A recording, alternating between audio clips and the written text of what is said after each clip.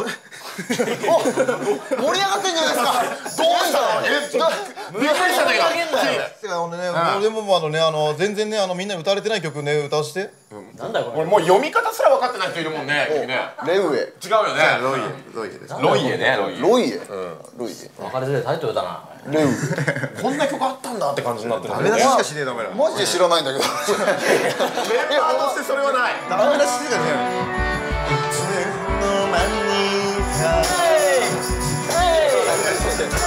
曲じゃない。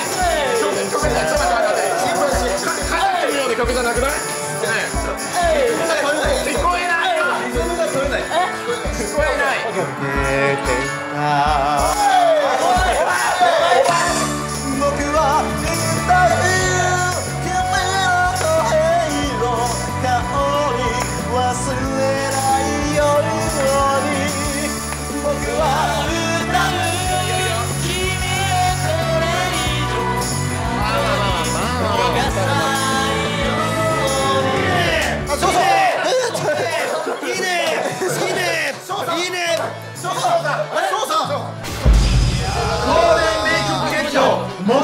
切りまくいやいやいやいやいやお邪魔しますよ。しかしねいい曲だね、えー、レノマ。ロイエ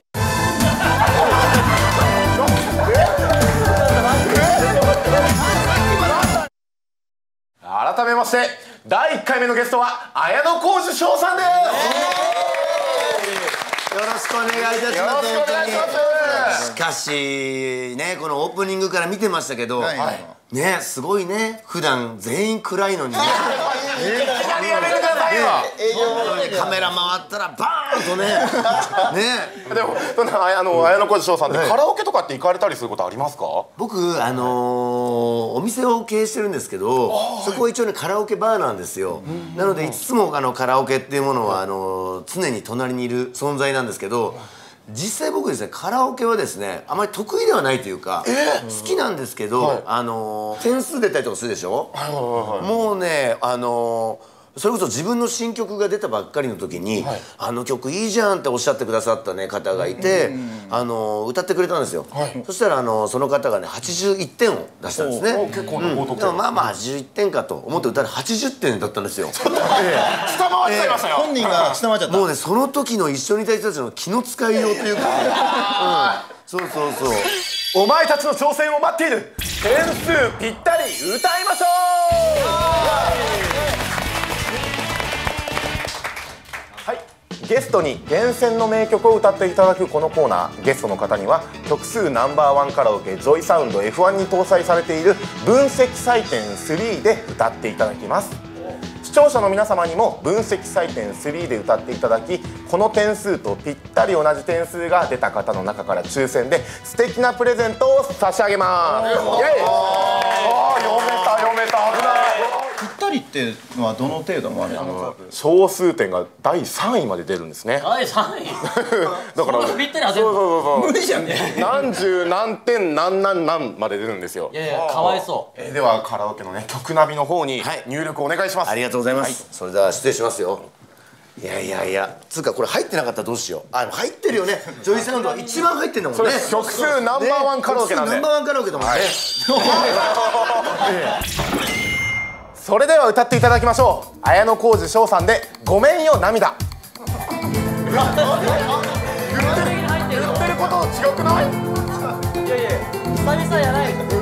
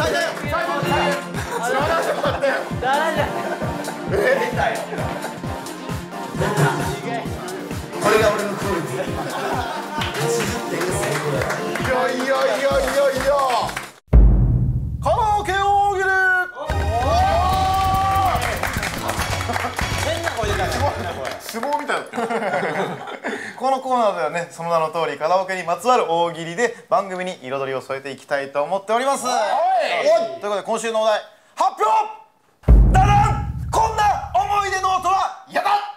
あの実は僕たちあのスタジオとしてこの使っているジョイサウンド品川港南口店さんにはですねあのゴールデンボンバースペシャルルームあるじゃないですか。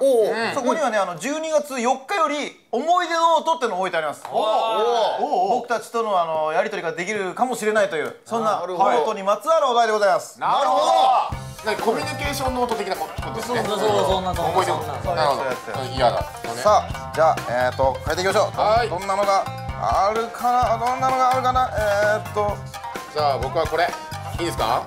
じゃん、えーこんな思い出のとは嫌だ。書かれると死ぬ。ああ俺も途中まで書いてた。うわうわじゃあ俺も今から書こうですいきなりいきなりかぶっとるやん。早く書かなきゃなと思って、なんだよ。はいはい何何何？使っている形跡がない。嫌だね。何のために置いたんだってなるもんね。やだね。はいはいはい。えー、でっかいうんこ乗ってる。本当くだらない。こんな何々は嫌だシリーズ全部使える。確かに。続いてはこちらのコーナー。ゲストクイズ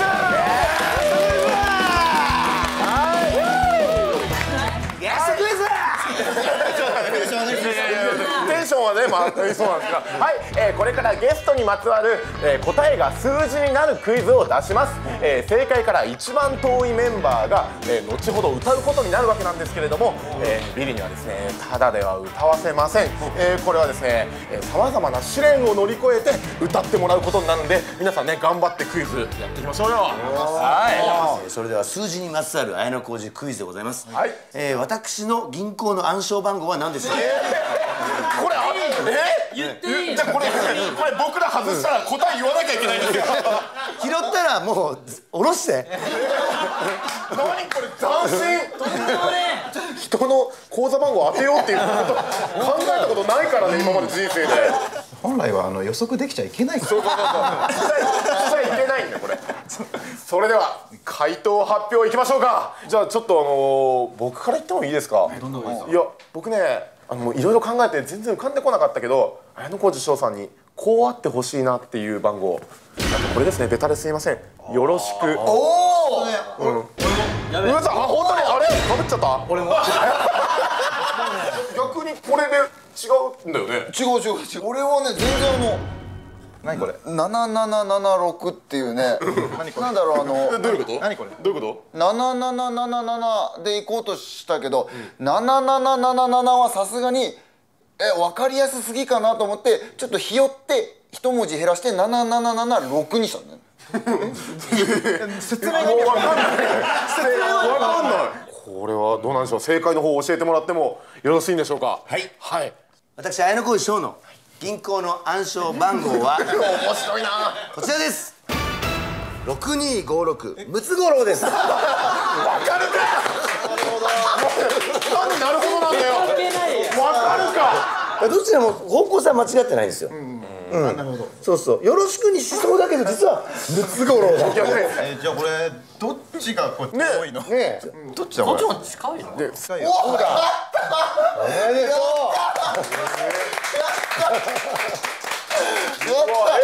でもどうします？答え同じの3人いるからね、いいね歌拾うだけで。いやいやいやどういうこと？オンエア乗ってないけどめっちゃ噛んでたし。う用なしだよ。前だったそれではですね、クイズの不正解者ということで、僕が歌うことになったのですが、えーせっかくなので、えーゲストの綾小路翔さんにですね、はい。えーちなんだ曲にしたいのですけれども、えー翔さん、えーこう何を歌いましょうかこれは。いいですか、はい。じゃあ、えっと、僕が、えー最高得点80点を叩き出した、えー我々岸田の新曲「はい。喧嘩上等」喧嘩上等、えいやいやいやいや。平場歌めっちゃ下手っす本当ですか？めっちゃ下手ですよ。これ本当にいたんです。よ。僕もなかなかなもんですから。いやいやいやいやいや、えこれマイナスプロモーションですよ多分。いや大丈夫です。大丈夫です。はい。マジで下手ですよ。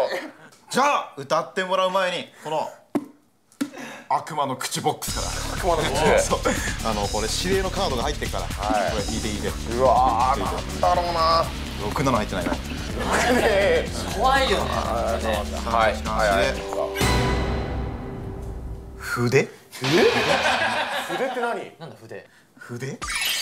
歌は世につれ世は歌につれ我らが順々が歌います。喧嘩上等。嘘